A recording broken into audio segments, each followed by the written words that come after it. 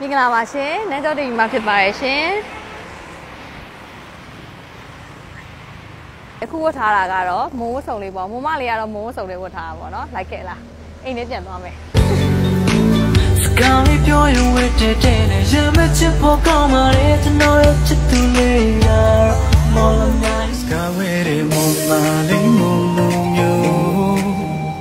ကျွန်တော်လေးသူရဲ့လာမချွေးစင်ပြီး ကြည်လိုက်ရင်ရှူဖာလေးလူတကာငေးတော်ဝင်တဲ့ထိုင်လုံးနဲ့လာမျိုးလေး